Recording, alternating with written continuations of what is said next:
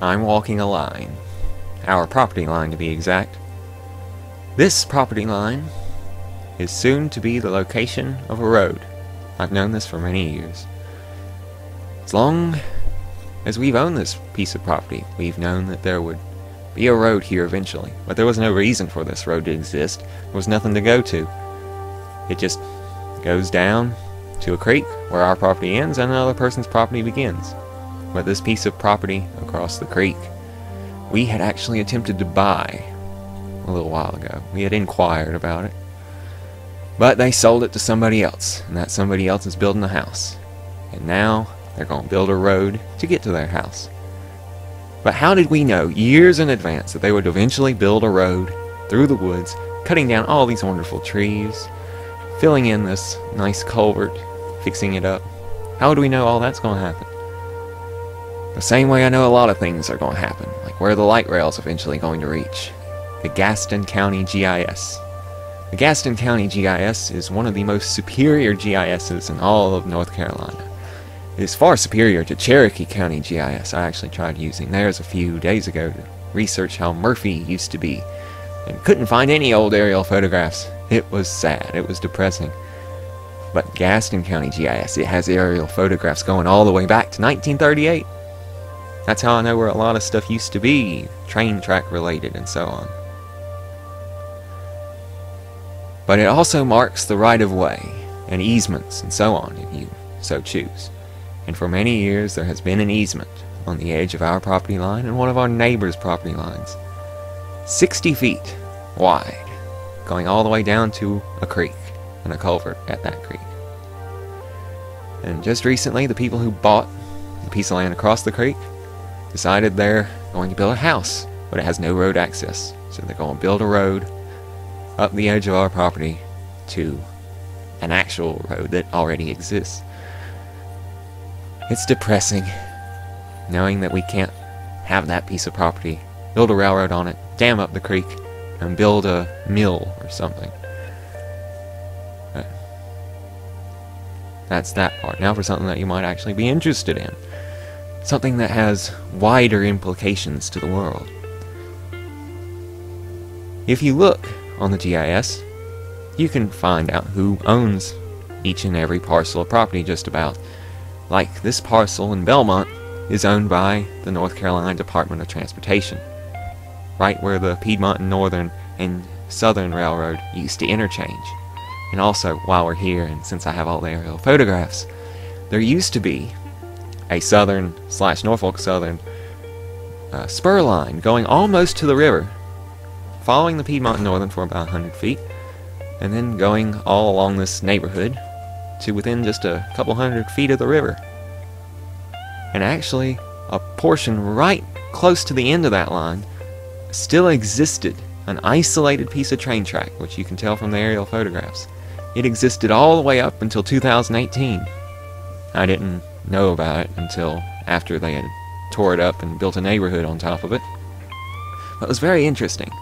And also, certain parts of the right of way are still owned or are still part of the DOT land. But the whole reason that I'm going on about this is because if you look at the Gaston County GIS, most trails and rail trails and so on are owned by a park the Carolina Thread Trail or something similar. But there's one rail trail which is different the Highland Rail Trail, along what used to be the Carolina and Northwestern a train track that used to exist all the way up until 2007.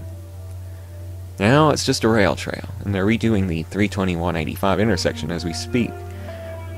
But that rail trail is not owned by any Carolina Thread Trail or anything like that, Gaston County. It's owned by the North Carolina Department of Transportation. It's a rail corridor, or a former rail corridor, that's owned by the DOT. But it's not on their list of DOT owned preserved corridors for some reason. Like the Piedmont Northern is, like the Murphy branch from Andrews to Murphy is.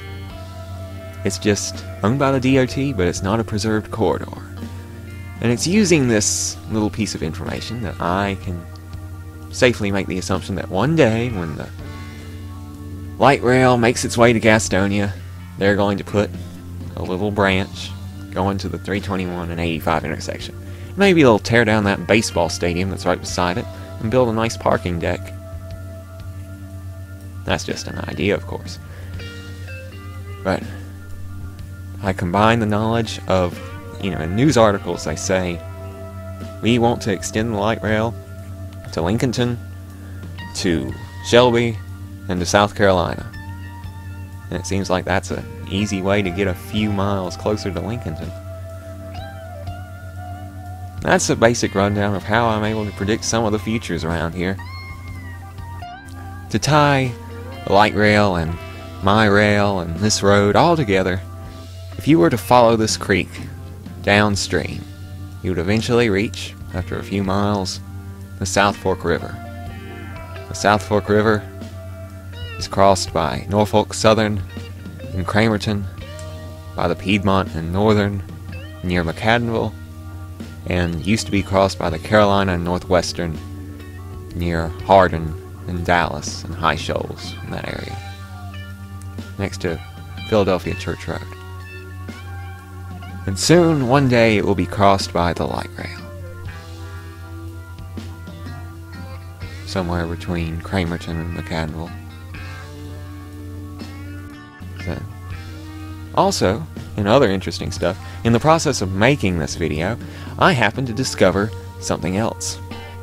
How to take screenshots from my computer. I've gone all this time, many years, without knowing how to make a screenshot. I could take a video of the screen and then take a screenshot from that video in the video editor, but not just from the screen. Now I know that. So, remain enlightened. Hopefully I've enlightened you as to how you too can predict the future, as long as your future that you're trying to predict is in Gaston County. What other counties' GISs are slowly catching up to the far superior Gaston County? It's just Gaston County has a lot of real estate sales going on. Realtors selling to other realtors, just so they can sell to other realtors. And so on, and so on, and so on. So thank you for watching this. Hopefully, you've been somewhat entertained by this. And you can use some of this information to do something. Thank you, and have a wonderful October 8th, 2020.